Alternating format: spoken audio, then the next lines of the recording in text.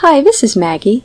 In this video we'll talk about how to calculate x and y coordinates given a starting location and a vector expressed as an angle and a magnitude.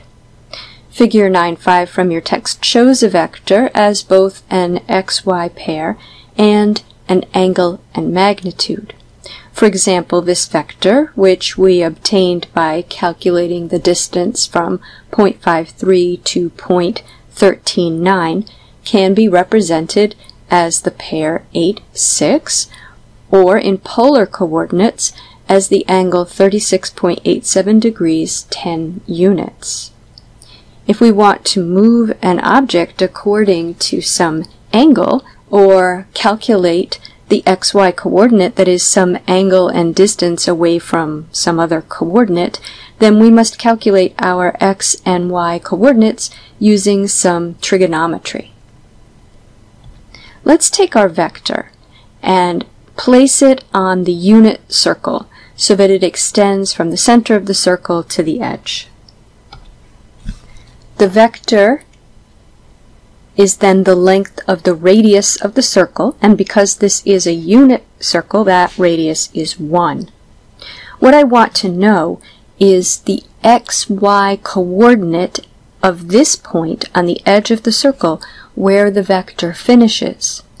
I can create a right triangle with this vector, and the two sides represent the x coordinate and the y coordinate, as you can see, if we move over along the x-axis on one side and then down the y-axis on the other side, we reach the edge of the circle.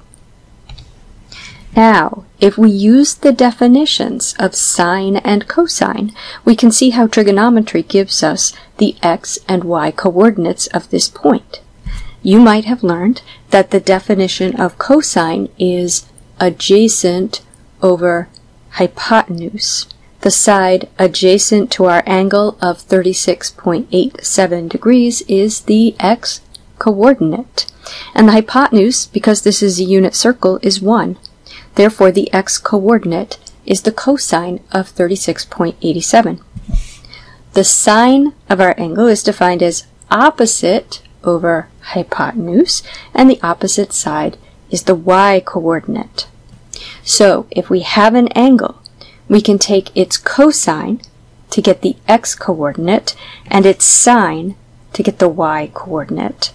These functions are in the math library, so it actually isn't difficult at all to get from an angle to an xy coordinate, or dx dy that we can add to keep an object moving in a particular direction that is specified by an angle. The only tricky part of this is that the coordinate system we use in Pygame is flipped from the coordinate system that sine and cosine were defined in. So ordinarily the top right quadrant is positive x, positive y, but for us the bottom right quadrant is positive x, positive y. If you map it out, you'll see that our quadrants are flipped over the x-axis. x works as expected, but Y doesn't. So we'll have to adjust for that in our code.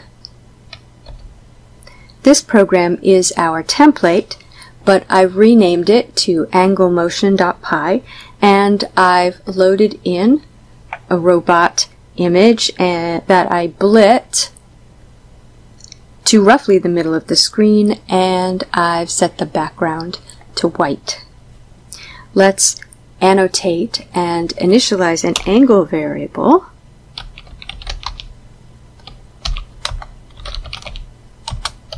To 36.87 degrees and annotate and initialize a speed variable to 5 pixels. And process a mouse press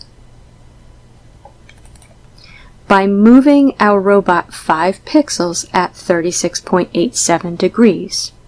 So remember first, we'll need to import the math library. So I'll add that at the top.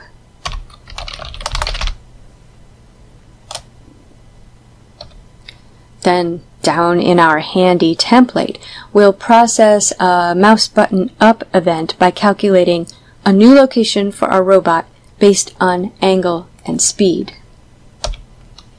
Now it will almost be as simple as robot x plus equals speed times math.cos angle. In other words, we're multiplying the speed by the unit dx we get from taking the cosine of the angle, and then we're adding that displacement to our robot x coordinate. And so similarly, the y coordinate is almost as simple as robot y plus equals speed times math.sine angle. The first catch is that math.cos and math.sine take their arguments in radians, not degrees. That's fortunately easy to solve because the math library also converts angles to radians. So I change angle to math.radians angle in both places.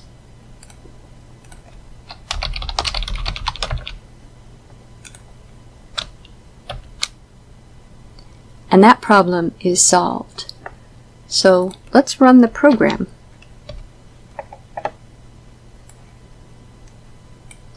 Okay. And our robot moves when I click. And he moves along the vector that you saw in our drawing. So what's the problem? Well, it depends on whether you think that's 36.87 degrees or negative 36.87 degrees. Because if you think it's negative 36.87 degrees, then the robot is moving in the wrong direction. So we will need to adjust our angle so that the y coordinates are flipped. So in the y calculation, I pass negative angle to the function to convert to radians. And when I run the program, the robot moves in the correct direction if we're considering this to be the regular Cartesian coordinate system when we specify the angle. If we change the angle and test in all four quadrants, we'll find that the robot moves correctly.